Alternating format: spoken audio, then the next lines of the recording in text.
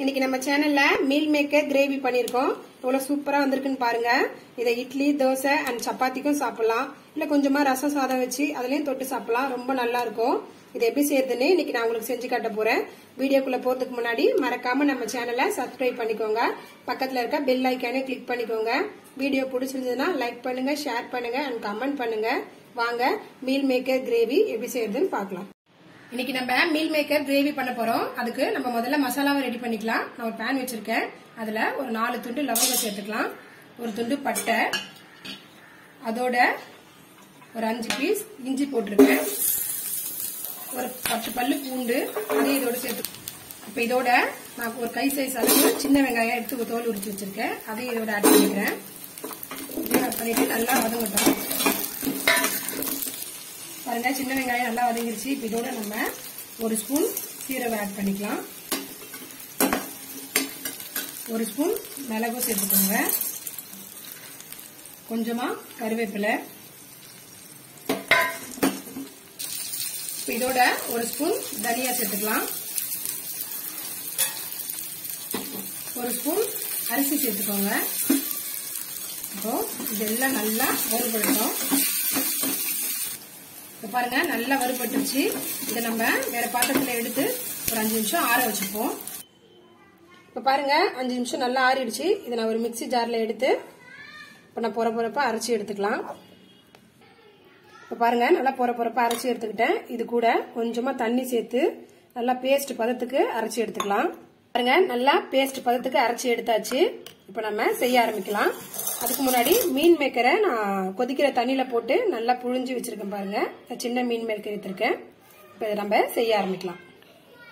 பாருங்க ஒரு கடாய் வச்சிருக்கேன். அதுல கொஞ்சமா எண்ணெய் எண்ணெய் ஊத்திருக்கேன். எண்ணெய் காயட்டும்.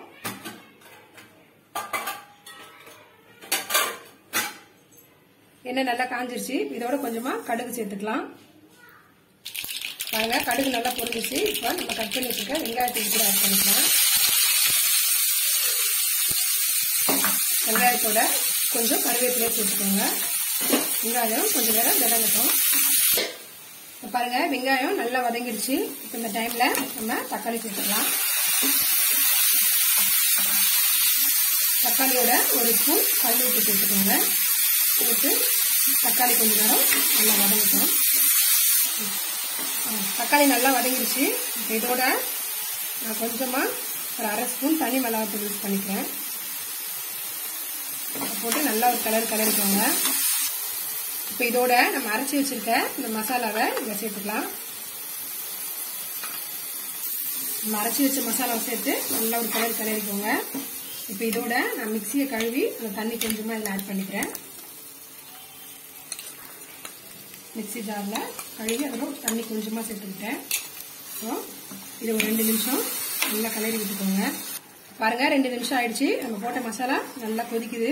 இந்த டைமில் நம்ம சுடு தண்ணியில் போட்டு வச்சிருக்க இந்த மின் மேக்கரை இதில் சேர்த்துக்கலாம். மீல் மேக்கர் சேர்த்து மீல் மேக்கர் சேர்த்து நல்லா கலரி விட்டுக்கோங்க. இப்போ இதில் நான் ஒரு ஒன்றரை டம்ளர் அளவுக்கு தண்ணி வைக்க போகிறேன்